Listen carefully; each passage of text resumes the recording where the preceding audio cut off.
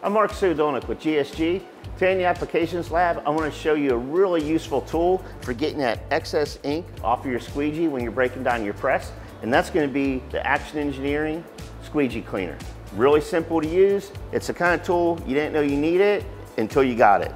Simply remove your squeegee, put it between your blade, and scrape all that excess ink the good thing about the Action Engineering Squeegee Cleaner, it does get all your excess off, so you're not dripping ink on the floor.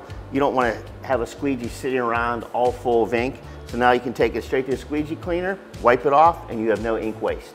Remember to like, comment, and subscribe to our YouTube channel. And for more information on really cool tools from Action Engineering, visit gogsg.com, and we'll see you next time.